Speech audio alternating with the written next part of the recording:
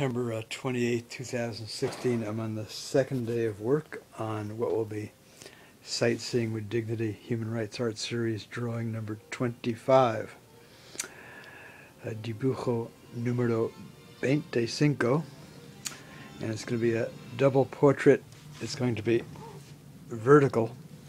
And once the portraits are done, I'll be taking it up to the Burke. I'm planning on drawing a wing on her right shoulder, which will be viewer's left, coming up that way, which will flow into and around the wing coming out of his also right shoulder, viewer's left here. So they'll kind of intertwine. Uh, Fernando Brodsky was a uh, Argentinian young man murdered at age 24 um, by the military regime in uh, Argentina. He was Jewish also, among several thousand, I believe, Argentinian Jews who were among thousands more who uh, were murdered. Los Desaparecidos, the disappeared. He was un desaparecido uh, in 1979. His uh, brother, I've read, is uh, an artist and uh, involved in human rights work dedicated in memory of his brother Fernando and others who uh, were murdered by the uh, military. And uh, Maura Clarke was a Maryknoll sister, American. She was uh, raped and murdered, as were three other nuns in El Salvador. Actually, she was from Queens, New York, my home uh, hometown. She was murdered in uh, 1980 by uh, National Guard, and there was a big cover-up uh, by higher, high-ranking officers who had been trained actually by the United States military. Several of those officers were later granted uh, permanent residency in the United States. Anyway, um, the first day I did the uh, kind of pencil outline and the uh, ink wash backgrounds. Today, uh, second day, I've started the uh, ink drawings to be continued.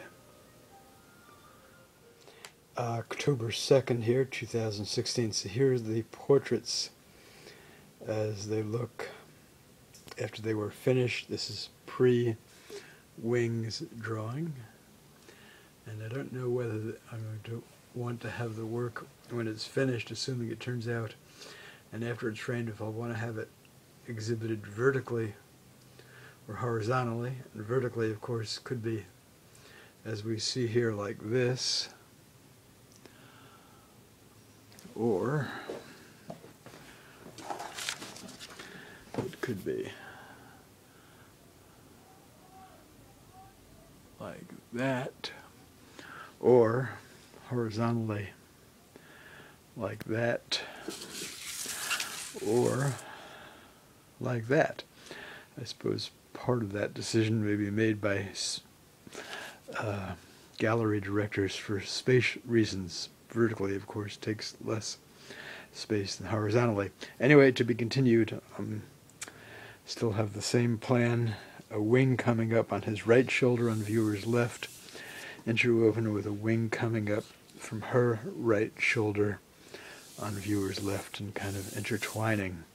All right, next uh, segment will be at the uh, Burke Museum with the actual wings I've chosen, and then uh, the drawing of those wings in progress, which will probably take at least several day-long uh, visits. Uh, it is uh, October 19, 2016. I'm in the ornithology lab at the Burke, so I've got wings uh, selected for the uh, drawing of uh, uh Maryknoll's sister Maura Clarke and um, Argentinian military victim Fernando Brodsky. Both of the wings are from Argentina, and they were chosen Okay, yeah, thanks. Yeah, yeah. All righty then. Okay. Um, thanks. Yeah.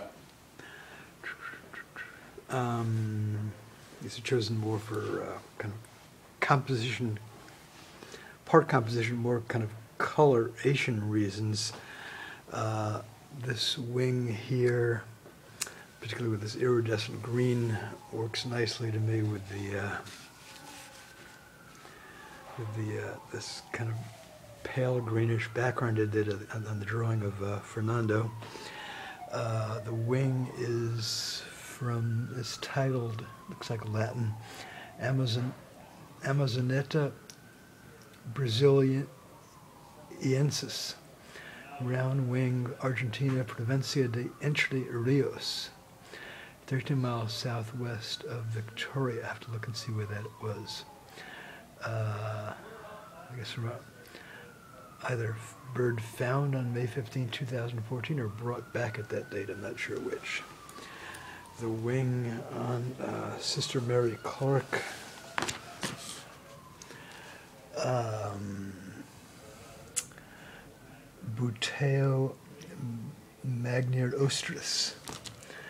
Uh, Tucumán, San Miguel de Tucumán, 25 kilometers for, south, 40 kilometers west, Route 307. I'm not sure uh, where. Oh, I guess those are kilometer distances from wherever San Miguel de Tucumán is. I have to look that up. Round wing, I think the collection staffer told me it was from a hawk. So we shall see how this proceeds. I'm just doing the, I've got an hour and a half now. uh, Time slot to do the, kind of get the beginning of the pencil. I'll Probably come back to work on the pencil and then in a subsequent visit, I'll begin doing the inking. Hour and uh, fifteen minutes later. I see this is gonna be a multi-days um, drawing operation here. I've got the outline in and uh, on both, and just a, a wee bit, as they would say in Scotland, of uh, the uh, feathering there, and a bit more on hers, and to be continued. October uh, twenty-fourth, two thousand sixteen, I added uh, kind of gold ink underlay here, and this is the second day of drawing on the uh, drawing of wings. I'm just gonna today be working from the uh, wing from this hawk from Argentina, and. Uh,